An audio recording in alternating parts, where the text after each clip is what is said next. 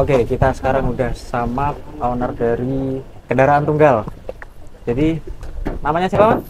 Aldi. Aldi, Mm-mm. pemilik eh, mobil Toyota Hilux. Basicnya Basicnya Hilux tipe V Hilux tipe V tahun 2023 Matic 4x4. 4x4 Kalau Hilux itu ada yang atasnya lagi yang tipe GR mas. tipe GR Itu sih yang 1 GD. 1 GD Kalau yang ini? 2 GD Jadi mobil ini udah full modifikasi di bisa kalian lihat. Dari depan aja udah terlihat banyak sekali. Mini proji velg udah diganti juga.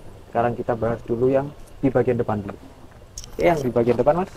Yang di bagian depan kita pakai Mini Proji Pro 7 yang seri MP1TX sama MP92 rata-rata anu semuanya itu 3 set 3 set. MP1TX 3 set MP92 3 set. Oke. jadi yang MP1T itu dia dikombinasi yang warna putih dan warna kuning. Mm, bener. Terus yang dua mata apa namanya? Dua mata MP9.2 MP9.2 yang terbaru dari Pro 7 ya? Pro 7 semua dari depan pakai full Pro 7 Nah, yang baru ini ada strobo. strobo kita pakai Wellen dari produknya Wellen Terus plus sirine pasti. Sirine Sirine strobo Jadi ya, banyak banget di bagian grillnya udah penuh. Mau nambah lagi nggak mas? enggak wis cukup Terus yang di bagian headlamp. headlamp kita pakai yang series P770 RV khusus buat headlamp. Hmm. Blue lens. Terus alisnya juga udah dimodifikasi pakai RGB total ada tiga set alis Tiga RGB Oke. Nah, di fog lamp fog lamp kita pakai 72 FX Mark II yang bawah malah udah laser 2 inch. Mm udah laser 2 inch. Katanya mirip ini seriesnya Black Cat Edition. Soalnya wattnya sama. Ini yang di bagian bawah cover fog lampnya juga ada alisnya BTW. Mm Ini import ya. Kalau custom sendiri memang nggak bisa ya, nggak ada Susah. tempatnya buat alisnya ada. Susah susah. Kalau mau custom sendiri. Jadi dibeliin covernya ini ulang yang eh, impor, terus di custom lagi alisnya guys. Jadi kalau kalian pernah lihat mobil ini alisnya kanan sama kiri beda itu bisa diatur lewat aplikasi. Mm, langsung dari aplikasinya. Nama aplikasinya LED lamp.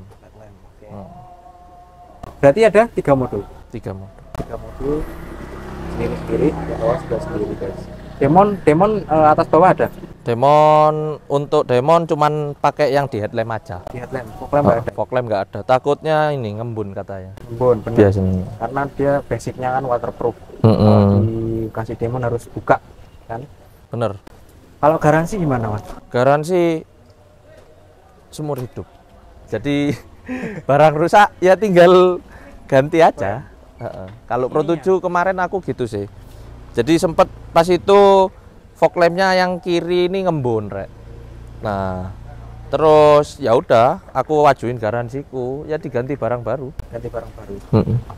Yang fog lamp sebelumnya ngembun padahal belum pernah dibuka. Heeh. Udah dapat gantinya baru. Heeh. Bener. Di bagian depan itu aja mas.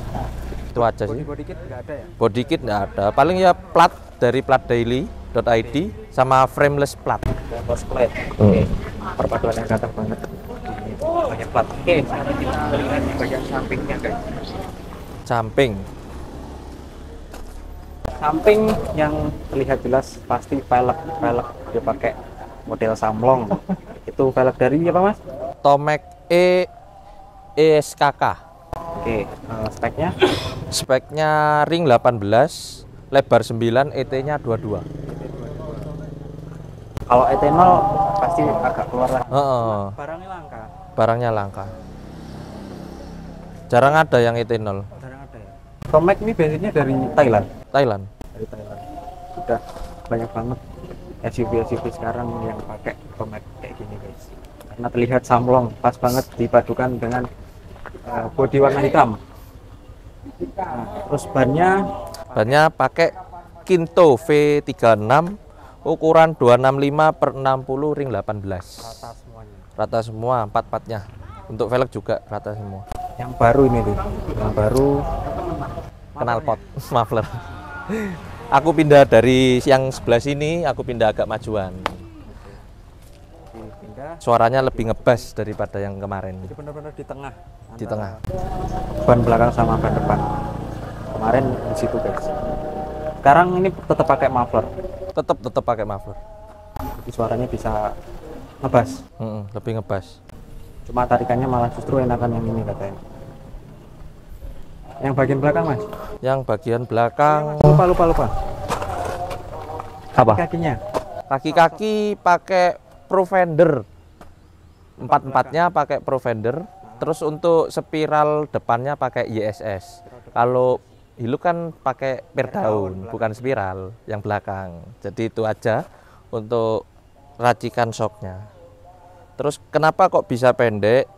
Per daun belakangnya itu dikurangin dua lembar sama di roll gitu. Jadi agak lurus. Mm-mm, jadi agak lurus. Tapi katanya gini mas. Pengen pendek kalau pakai perdaun tuh dibalik katanya. Ada yang ngomong gitu cuman kalau buat balap ndak tahu ya rekom apa ndak aku belum tahu. Mungkin saya mau tak anu cari info dulu lah riset dulu. Jadi ini masih posisinya di atas gardan. Mm-mm, di atas gardan. Kalau dibalik itu nanti jadi di bawah gardan gardaunnya guys. Jadi bisa lebih pendek oke eh, bagian belakang? Bagian belakang ini sudah dilepas ndak ada. Kemarin ada kayak tutupnya pakai roll bar sama roller lid. Cuman sekarang udah dilepas. Terus besi yang di situ? Sudah dipotong juga besinya. Terus paling stop lamp lah ya langsung. Stop lamp. Pakai yang aftermarketan langsung. Langsung termarket Mm-mm. basicnya dia kan merah. Merah ini lang udah di smoke di smoke terus ada welcome light-nya langsung hidupnya ngikutin gini. Bentuk love. Rem rem di atas terus yang bawah sen gitu hmm, bener. Mundur? Mundur ini. Kecil. iya, iya, iya. putih. Led ya? Mm, led. Led putih. Udah sih. Itu aja. Apa? Sebenarnya di B downgrade ke GR guys. Kamera belakang mungkin kamera belakang ganti? Nggak ada sebelumnya dipasangi kamera Oh, belakang. ada. Mm-mm, Yang ada belum. GR aja. Mm-mm, yang ada tipe GR terus paling tambahin balance arm. Balance arm guys. Jadi di bawah ada balance arm. Jadi sebelumnya nggak ada. Dipasangi lebih enak. Tapi katanya kan orang bilang kaku kalau dipasangi balance arm. Ternyata enggak justru malah lebih rigid. Lebih enak tarikannya. Naikannya lebih enak juga. Naikannya enak naikannya lebih enak. Di jalan bergelombang kanan kiri enggak lebih stabil dia. Mm-mm. udah aku tes di tol kemarin. Oke sekarang belakang depan samping cukup di interior dulu. Interior langsung. Gas interior ini modul dari Wellennya.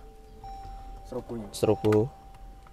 Strobo sama sirenanya? Iya strobo sirinenya terus ini, ini tuas di custom ala GDM HDM Hmm. sama ini. sama ini juga. Handrem. Handrem. Terus ada bus meter. Meter dari dari R4 R4 ini senjatanya dia. Senjata live ini guys. Sebenarnya setirnya ini kemarin rencana mau ke Banyuwangi wis ganti. Nah, tapi nggak nutut. Sama mau aku lebih pendekin lagi. Belakang. Mm-mm. tapi nggak ini waktunya kurang. Keburu-keburu. Ini setirnya. Jadi mau diganti yang ada kayak race display MK2 setir gini aja. Karbon. Berarti ininya kayak tengah-tengahnya masih pakai standar. Udah tak beliin yang GR ini anunya GR sini Gazo Racing. Karbon full karbon pokok. Rencananya kan tak karbon semua interior tak black ini iya interior aku black sama aku ganti audionya. Pokok full hitam. apa? Main audio habis ini iya sih nunggu lah ya. Sabar pelan-pelan. Project kilat kayaknya. Saya punya mobil ini udah berapa tahun? Baru empat bulan kayaknya. 4 bulan? Iya. Udah udah. Bahkan udah terkenal di mana-mana loh Mas. enggak. Oke mesin mas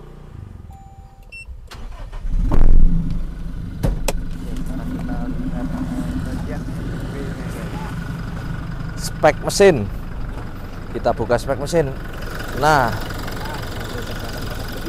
ada lampu juga buat kalau malam displaynya keren. Ini ngikut apa? Ngikut saklar ini mas? iya. Jadi kalau Nih, jadi kalau nutup Oh, iya. mati dia kalau ketekan gimana? Kalau eh, kebuka otomatis langsung nyala sendiri. Nah di bagian mesin yang udah di upgrade apa aja? baru radiator cover power steering apa tangki power steering tangki radiator.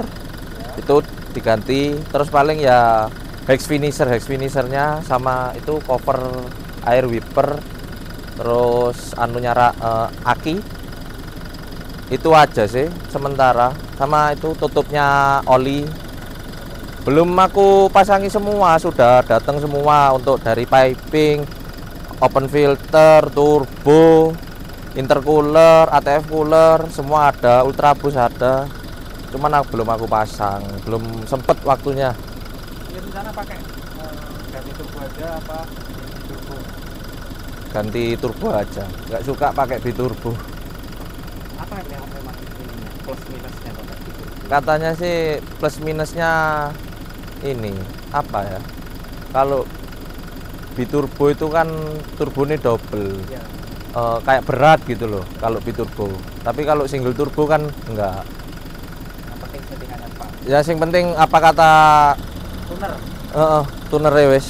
Manut penting kenceng. Target time berapa? target time nggak muluk-muluk bisa time 9 sudah bersyukur. Bulan tuh kalau di truk udah kenceng. Kondisi daily daily. 2 GD t- time 9 ya buanter. Wah ter. Terus ada ya paling intake header nanti diganti. Terus nozzle, stroker pump sudah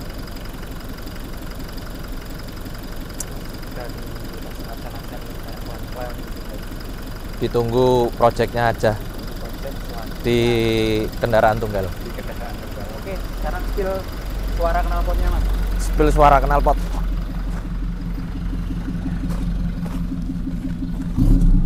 Kalau kemarin itu ngebas agak sini anu takutnya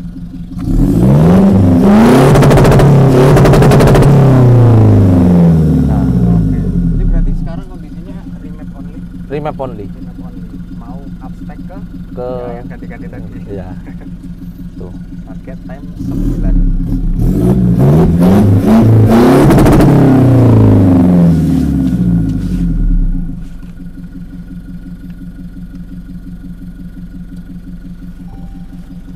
Jangan lupa pakai turbo timer. Turbo timer penting banget biar Mm-mm. turbo kalian aman. Aman.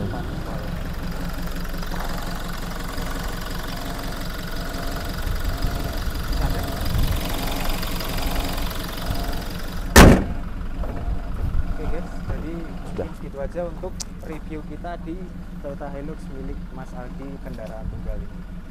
Jadi apabila kalian ada yang ditanyakan lagi nanti mungkin bisa langsung DM DM Mas atau mau jasmod bisa nanti bisa kalian uh, lihat update-nya di ya, TikTok atau Instagram kendaraan tunggal. Nah, Ya. jadi thank you banget buat Mas Aldi udah Sama-sama. udah diperkenankan mereview Toyota Hilux milik Mas Aldi ini yang keren banget. Bahkan sekarang viral mobil ini. enggak biasa aja Biasa aja. Orangnya rendah hati, guys. Oke.